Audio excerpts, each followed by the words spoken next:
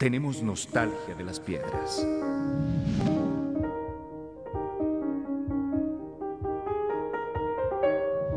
Lo estoy viviendo apenas, pero lo estoy viviendo.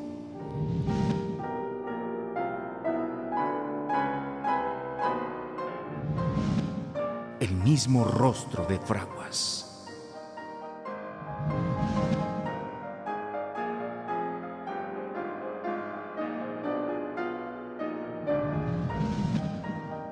Cuenta la historia, la imagen y el recuerdo de Aguascalientes.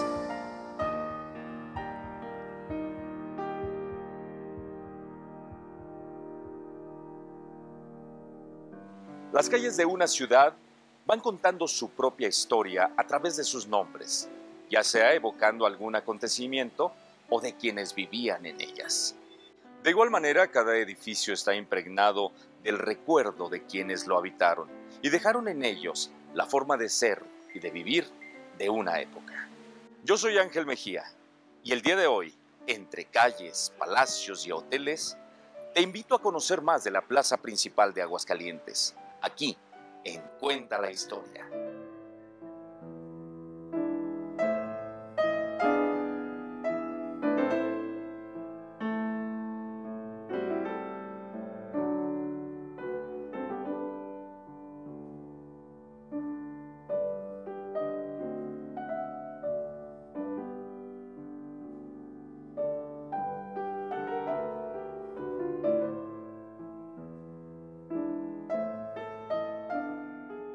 La Plaza de Aguascalientes también nos cuenta una historia de poder y la podemos constatar a través de los diferentes nombres de las calles que la circundan. Ellas nos hablan de la lucha y la victoria de los liberales sobre los conservadores. Es la transformación social mexicana que trajo consigo el derrocamiento del imperio y el triunfo de la República en 1867. La acera sur se llama José María Arteaga que fue gobernador de Querétaro durante mucho tiempo y de Jalisco, eh, combatió al invasor francés eh, a, raíz de la invasión francesa en 1863. Va a ser muerto por los franceses en Uruapan, Michoacán. La acera oriente se llama Jesús Terán Peredo. Se le impuso ese nombre, al igual que de José María Arteaga, en 1910, a raíz de las fiestas del centenario. En 1902 se va a instalar una estatua de Benito Juárez precisamente en lo que se conocía como Plaza de la República, hoy Plaza de la, de la Convención. En 1910, a la calle de un costado del Palacio de Gobierno se le nombra José María Chávez y en 1920 a la calle de Tacuba la llaman 5 de Mayo. Es importante destacar que tanto José María Arteaga como José María Chávez se mencionan en el himno a Aguascalientes, compuesto por Esteban Ávila, quien hace un canto a la República a raíz del fusilamiento de Maximiliano de Habsburgo. Eh, pero aquí hay una historia también que Chávez y Arteaga pues, no eran de Aguascalientes, a pesar de lo que dice el himno. Arteaga era de México, de Ciudad de México, y Chávez era de aquí muy cerca de Encarnación de Díaz, Jalisco. Lo que pasa que en esa época había que crear unos hebres, había que crear una identidad eh, nacional, una identidad también aguascalentense. Entonces por eso Esteban Ávila, quien compuso el himno, los va a incluir a José María Chávez como un mártir, pues, de la intervención francesa, que va a ser asesinado en 1863 en Malpaso, Zacatecas, y a José María Arteaga porque era su compadre. La vocación de la plaza principal de Aguascalientes está plenamente marcada desde el siglo XVIII. En el lado poniente se establece el poder religioso y en el sur el de gobierno, y es precisamente en este lado, en contraesquina del Palacio de Gobierno, entre la calle Nieto y José María Chávez, donde se gesta la mitografía política del Estado, la famosa leyenda del beso, escrita en los años 30 por Elías L. Torres para concursar en los Juegos Florales de la Feria de San Marcos y la cual quedó grabada también en nuestro escudo. En la que supuestamente Luisa Fernández Villa, esposa de Pedro García Rojas, el gobernador de Aguascalientes en 1865, le da un beso supuestamente a Santana y Santana otorga la libertad. Aquí es donde tenían su casa Pedro García Rojas, el profesor Topete del Valle insinuaba que era en la calle Morelos, pero yo haciendo investigaciones de archivo en protocolos notariales, he localizado que aquí era precisamente la finca donde vivían los García Rojas. Una de las edificaciones más emblemáticas del lado sur de la plaza es el Palacio de Gobierno. Fue parte de los solares que la corona otorgó a los primeros pobladores de la villa. Perteneció a Gaspar de Aguilar, quien en 1665 vende la propiedad a la familia Rincón Gallardo. En 1685, bajo las órdenes del párroco y licenciado Pedro Rincón de Ortega, se construye la Casa del Vínculo, la mansión en la villa de los hacendados de Ciénega de Mata, quienes la conservaron por casi 200 años. Era, era una casona señorial, prácticamente todo el predio se le decía viento norte, es decir, de, cara a la, plaza principal, pero también por los costados, oriente y poniente, pertenecía al mismo predio de los Rincón Gallardo. Ellos le dieron, digamos, sobre todo en la fachada norte, esa característica de ser una mansión barroca. ¿verdad? La decoración que tenía en la fachada era estilo barroco y así se mantuvo incluso buena parte del siglo XIX y a principios del siglo XX. La propiedad pasó por varios dueños. En 1842, el caserón es adquirido por don Pedro Oviedo, quien lo transforma en el conocido Mesón de la Unión. Al fallecer el comprador, sus hijas venden la propiedad al ayuntamiento en 1855. Un año después, el gobernador liberal Jesús Terán la, adquirió para el gobierno del Estado. Y allí estuvieron los tres poderes, el, ejecutivo, el legislativo y el judicial, eh, toda la segunda mitad del siglo XIX y muy avanzado el siglo XX. Recordemos que el poder legislativo y el poder judicial, pues ya por ahí por los años 80 es cuando se salieron de ese edificio. Cabe mencionar que el edificio de Palacio de Gobierno no siempre ha lucido majestuoso como hoy lo vemos. En su libro Viaje a Termápolis, Eduardo J. Correa narra cómo su padre, el abogado Salvador Correa, a mediados de la década de 1870, lo describe como una finca decadente. Pues menciona que el edificio era feo, deteriorado, que era una vieja casona señorial, pero que estaba sumamente dañada, que era una arquitectura muy irregular, en fin, lo, lo, describe incluso casi casi como si fuera un cuartel, ¿no? sobre todo en la entrada, la, la puerta de entrada, la describe como un cuartel, de que habían guardián, además de que habían guardianes que estaban ahí con sus armas, se sentaban, ahí se acostaban, en fin.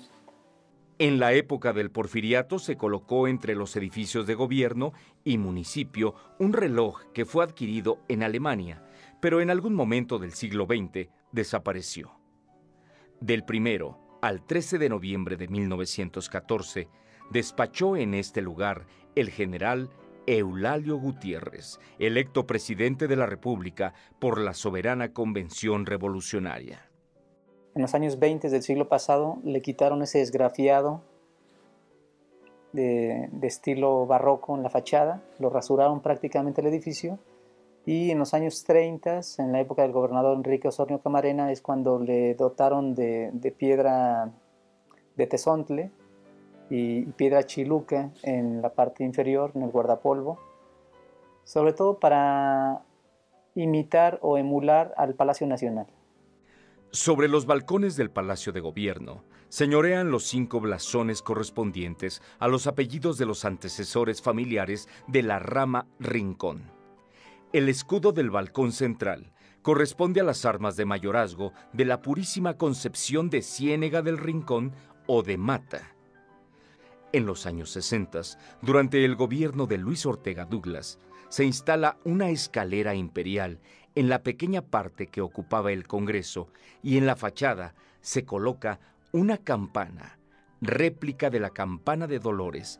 Asimismo, se habilita el segundo patio y el palacio se somete a una mutilación. Porque se hacía en la calle de José María Chávez un, embudo, eh, era la carretera panamericana y por ahí pasaba mucho tráfico vehicular. Entonces eh, le mocharon al, al, edificio en la parte norponiente, unos dos o tres metros probablemente, para alinear la calle, que fluyera más el tráfico, pero finalmente el edificio fue mutilado Ahora sabemos que eso no se justificaba porque pues, esa parte ya se hizo peatonal. Se, se, hizo igual, sobre todo el balcón esquinero, se hizo exactamente igual a como era originalmente, pero, pero no es el balcón original. 111 arcos de medio punto rodean los dos patios del Palacio del Gobierno. También en el periodo del gobernador Ortega Douglas, en 1961, se contrata al artista de origen chileno Osvaldo Barra Cunningham para realizar el mural sur de la planta baja, el cual lleva por nombre Aguascalientes en la Historia, donde se narra el devenir histórico del Estado en cuanto a su economía, política y desarrollo cultural. Un año después, en la planta alta del lado norte del palacio, Osvaldo Barra plasma en sus paredes la feria de San Marcos a través de tres alegorías. La diosa de la fortuna, el dios Baco y la sensualidad. Entonces, a partir de esas tres figuras alegóricas, hace una reconstrucción tripartita de cuáles son los elementos que entran en juego durante la Feria de San Marcos. Y ahí está haciendo una crítica el pintor a los explotadores. Él era un poco de tendencias, sin ser socialista, pero sí, eh, digamos, un poquito proclive a lo que es la Escuela Mexicana de Pintura, donde sí, siempre había un mensaje de crítica social y política ¿no? en, las pinturas murales.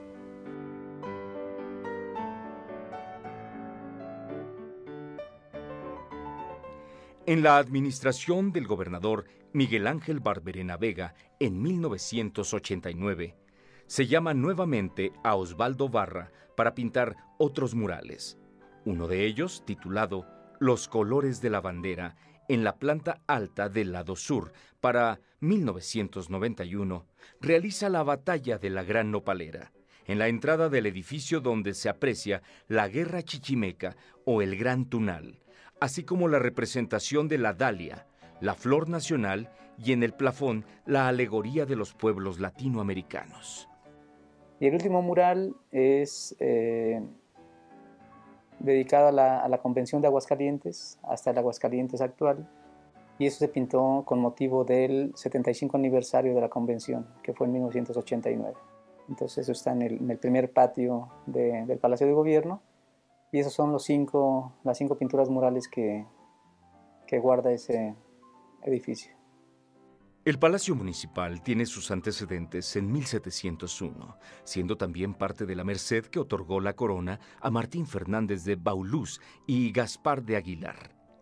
El terreno de Cien Varas pasó por varios dueños hasta que a mediados del siglo XVIII, en una construcción de adobe, se instalan las casas consistoriales, como se nombraba antes al ayuntamiento. El edificio se realiza a finales del mismo siglo y se menciona que pudo ser obra de los arquitectos Eduardo Tresguerras o Manuel Tolsá, quien edificó la columna jónica de la plaza principal. Eh, el Palacio Municipal, eh, ahí mismo estaba la cárcel pública, eh, era de dos plantas, como hoy lo conocemos, el patio, segundo patio, ese no lo tenía, ese se va a construir durante la administración de Francisco Ramírez, va a quitar la cárcel, por eso la calle de Colón se llamaba antes de la cárcel, que va a cambiar de nombre en 1892 a raíz del cuarto centenario del descubrimiento de América, Colón, y se va a trasladar la cárcel a otro lado y se va a construir el segundo patio de Palacio con sus dos escaleras tipo imperio, antes nomás tenía una sola escalera para subir a la parte superior, la parte de arriba. La calle de Colón se le llamaba la calle de la Real Cárcel. Llegamos a tener como detenidos gente mala y se le toleraba salir de, de, de, la cárcel a unas banquitas que había en la puerta de la cárcel para que tomaran un poco de sol.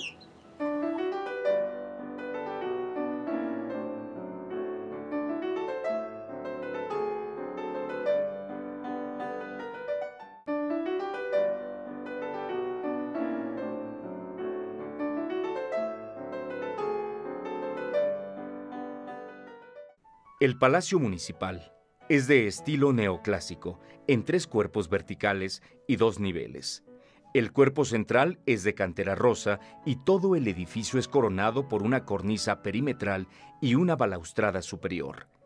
En el remate central de la fachada, En un frontón roto se encuentra la inscripción Palacio Municipal y arriba, en alto relieve, la figura de un águila con las alas abiertas devorando una serpiente. En la cúspide podemos ver un trofeo donde descansa el asta bandera del edificio.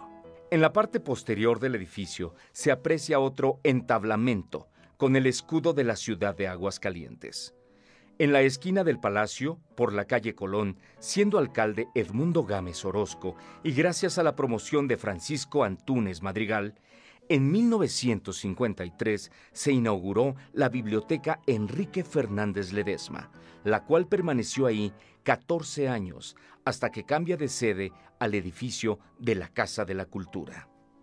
Eh, una de las cosas curiosas de, que tiene este espacio cuando se inauguró, que después de tres años, en, en 1956, ya estaba articulada como una biblioteca moderna, porque la biblioteca ya tenía, aparte de su área de consulta y todo esto, tenía también su auditorio y tenía su galería.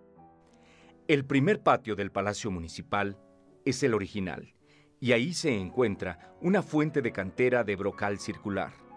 Las remodelaciones más importantes que ha tenido el edificio se dieron durante la administración del alcalde Carlos Macías Arellano a finales de los años 60 y culminaron casi una década después con el edil Francisco Ramírez Martínez, las cuales consistieron en demoler la antigua cárcel, la construcción del segundo patio y la escalera central de doble rampa, donde se encuentra un mural elaborado por el maestro Guillermo Cuellar Arellano para conmemorar los 425 años de fundación de la ciudad. El lado oriente y norte de la plaza principal de Aguascalientes se caracteriza por su vocación comercial. El lugar que hoy ocupa el Hotel Francia, en el siglo XVIII, se encontraban los portales viejos del negociante Fernández de Palos, los cuales son derrumbados al siglo siguiente. En su lugar se construye una casa de un piso, y es hasta 1913 que Felipe Nieto contrata a Refugio Reyes para edificar el Hotel Francia. Antes ahí estuvo el Hotel Plaza, el Hotel Lafayette, que eran de Felipe Nieto. Felipe Nieto era un hacendado, un rico hacendado de Aguascalientes, dueño de la hacienda de Peñuelas, que su hija va a heredar, Lupita Nieto, que se casó a su vez con este Miguel Dos Amantes Rull, dueño de la Plaza San Marcos. Al morir Lupita, él se va a quedar como dueño también de la hacienda de Peñuelas y del Hotel Francia. De hecho, ellos tenían su domicilio ahí al lado del Hotel Francia. El Hotel Francia, de estilo ecléctico, fue una edificación muy grande. Llegaba hasta la calle Morelos, con entrada tanto por el callejón de Zavala, hoy Avenida Madero, como por la calle Juárez. Por muchos años fue el corazón político y social de Aguascalientes. tuvo varias modificaciones en los años 40, eh, se la empezaron a demoler, la parte hacia la calle de Morelos. Posteriormente, ya en la década de los 60, lo siguieron demoliendo, queda, se construyó ahí una ampliación eh, ya más contemporánea. Tenemos cuatro o cinco niveles de, de, habitación, eh, como para compensar todo lo que se había derruido anteriormente. El Hotel Francia siempre se distinguió por alojar a toreros, empresarios, artistas, políticos y demás personalidades, así como por su excelente cocina. Según cuenta la historia, en este lugar, el compositor chileno Juan S. Garrido escribió la canción más representativa de Aguascalientes, la famosa Pelea de Gallos. También su reconocido café, Fausto, fue por mucho tiempo el centro de reunión de poetas e intelectuales de la época. Mi, jefe fue don Víctor Sandoval. Eh, se reunía con sus amigos del, le decía el café de Andrea, era en el Fausto, pero él poéticamente, él le llamaba el café de Andrea, ahí se reunían mm, el doctor Salvador Gallardo Dávalos, eh, el licenciado Gallardo, licenciado Gallardo, el doctor Desiderio Macías Silva, mm, el licenciado Aguayo, eh, el maestro Juárez. Por ejemplo, Desiderio a mí me leía sus poemas, sí, yo a él, y él me los mm, criticaba y yo le criticaba a los otros. Sí. La crítica quiere decir cernir, daba yo mi opinión. Sí, gusta esto, esto, otro. A veces se hacían cambios, a veces no. A veces hacían cambios que no se arrepintió uno, yo de algunos que cambié, pero bueno.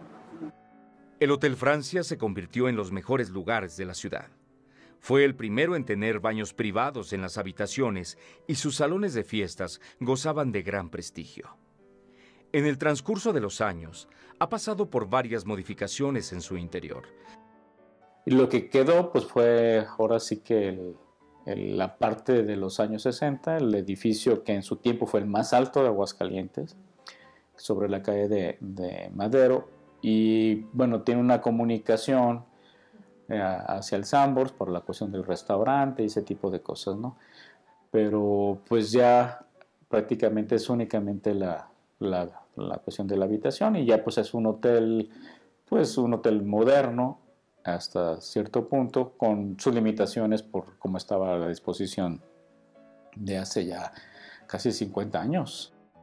Al lado norte de la plaza principal de Aguascalientes, también entre 1912 y 1914, se le encomendó al famoso arquitecto autodidacta Refugio Reyes la construcción del Hotel París, que desde 1982 es sede del Poder Legislativo.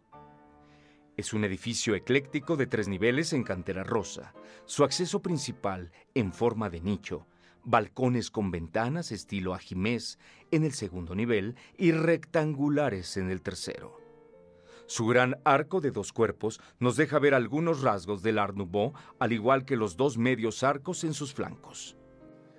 Que el Hotel París desde un principio tuvo su vestíbulo cubierto, no tenía un patio. Y también ha sido un caso en el que lo han alterado totalmente. De hecho, ahí había una cantina también que era muy importante. Mientras unos estaban en el café, que ya es de los años 50, 40, 50 para acá, pues acá la cantina, pues era desde que empezó el hotel, el Hotel París. La majestuosidad arquitectónica del Hotel París nos evoca la imagen de un Aguascalientes esplendoroso, brillante, como lo fue su escalera imperial al interior del edificio. O sea, es una rampa principal y luego se hacían dos rampas. Y hay fotografías en las que estaba hecha de con mármol negro, que en ese tiempo, bueno, pues era así súper exclusivo, demasiado muy caro. Y entonces llegaba uno, el, vestíbulo estaba cubierto, llegaba uno y, y estaban los pasillos, los andadores, con todas las habitaciones, que ahora son las oficinas de los diputados.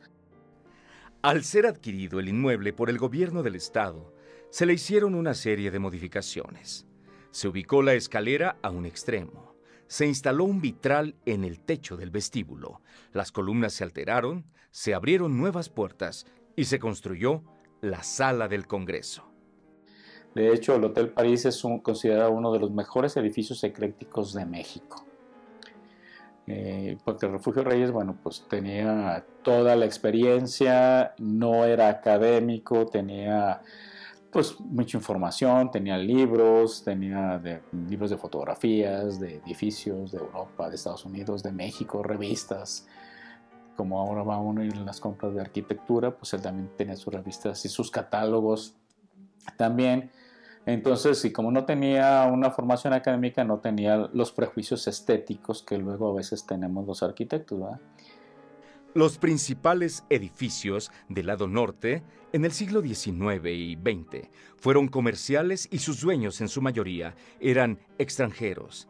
En fotografías antiguas podemos ver negocios de moda, peluquerías, zapaterías, restaurantes, cantinas, autopartes y bancos entre otros. Tanto la 5 de mayo como la, la, calle Juárez, que antes era del reloj, eh, de hecho se dice que la Juárez es la Plateros de Aguascalientes por la vocación comercial. ¿Y por qué es el norte? Porque es el norte, acuérdense, desde el siglo XVI, XVII, XVIII, era la que trasladaba hacia las minas de Zacatecas, hacia el norte, el camino real de tierra adentro. Por eso la vocación hacia el norte va a ser comercial.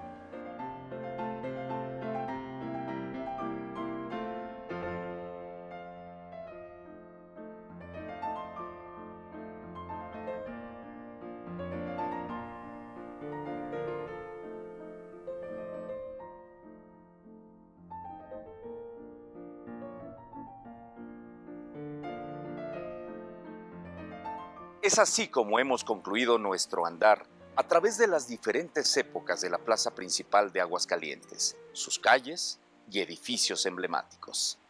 Yo soy Ángel Mejía y te invito a que me acompañes la próxima semana en un programa más de Cuenta la historia, la imagen y el recuerdo de Aguascalientes.